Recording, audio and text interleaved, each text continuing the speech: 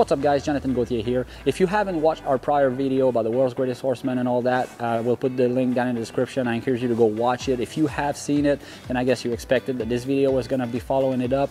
Uh, we recorded that the same day and I was working with Bunny on, on what I like to see during the first interactions, let's say the first seven to 10 days uh, interacting with young horses and what are my priorities, what it is that I like to do. And again, this is a subject that can cover just a very, very wide variety of things and exercises and there are so many approaches and methods that are great and, and things that I like to do. But generally speaking, you know, on a day-to-day -day basis, grabbing a young horse and first interacting with this, this young horse in the round pen for the first seven to 10 days, these are the things that I like to do and, uh, and, and the results that I like to get. So anyways, I hope that you've enjoyed, that you enjoyed this video and uh, yeah, without further ado, let's get after it.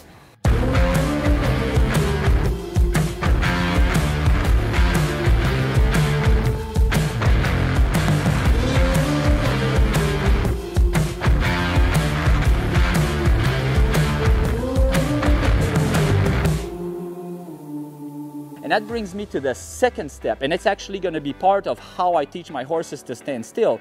Okay, so I have this technique that I've developed over the years, and, and I, I spoke with a, with a psychologist once that explained to me a technique called EMDR that is a technique that they use for post uh, for PTSD uh, uh, for treating PTSD and uh, in humans. And they explained how you know how the person who invented this technique was was you know figured out why walking on a sidewalk or down the street just or at the park and, and why it's so calming, why it has such a calming effect is because when you look left and you look right and you look left and you look right and you think about positive things or nice things, then that has a way of of bringing your energy back into balance and also recording that positive moment in your mind that you can use that down the road uh, in order to you know to calm you down whenever you get stressed out. So what I figured out is that hey that connects very well with how I always do a lot of flexions and lateral flexions with my horses left and right until I get a perfect transition from left and right and then they relax themselves and lick their lips and they're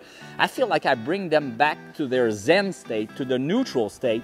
And so and so this is why that I've since then connected that with something that I was already doing with my horses, but now in a different way, okay? So the first thing that I do with my young horses when I interact with them in the, in the round pen is going to be to test their, you know, their fight or flight instinct and also, uh, you know, teach them how to to uh, you know teach kind of put them on the spot a little bit scare them a little bit and and and trap them a little bit to see how you know how hard they'll react and use that technique to bring them back down to calm them down and relax them bring them back into their neutral zen state and then reward them. And so sooner rather than later I will be able to use this I will be able to use this to always you know, record everything that we're doing positive. Like if she does something nice for me, I'm gonna go and do that. And I'm gonna show you here in a minute what it is. But anyways, I'm gonna use this to record all those positive moments as I do my training so that down the road later, when I do my lateral flexions left and right, and she's got them, you know, figured out very well to where she's very soft both ways, and I can just do a little bit, a little movement left and right, and that instantly brings her back into, uh, into a Zen state. And so this way that allows me to put pressure here and there. And when I feel it's a little much, I have a tool that will allow me bring it back down to neutral, okay? So here's what I'm going to do for, so in order to do this uh, uh, more effectively, I'm gonna use the side pull. Okay, so with my young horses, I like to use a side pull. It's not, uh, you know, it's not uh, you know, a must. You don't have to use a side pull. You can use a Bosal, you can use a, a Hackamore, you can use any type of tools that works for your program. I like to use the side pull because I'm going to be focusing a lot on the lateral flexions in the early stages of training. And so therefore, the, the side pull is going to be, shh, you're okay, you're okay, you're okay. So the side pull is going to be, is going to be the, the favorable tool for me. Okay.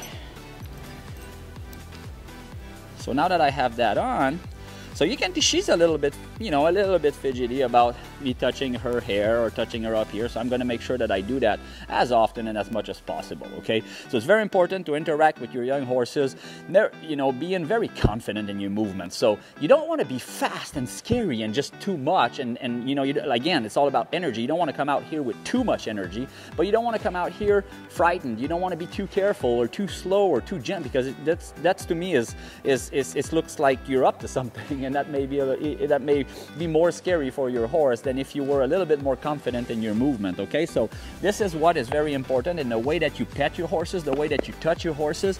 Do it with with with uh, with confidence and and so don't be afraid to approach your horses in a way that why are you scared? You know what you know that you know i'm not to hurt you you know and it's and it's the way to the way that i like interacting with my horses okay? So the technique that i was talking about is i'm to come here in front of my horse and i'm to be very careful and step my head back okay? Because i don't want my horse to jump on me or swing its head and hit me in the face.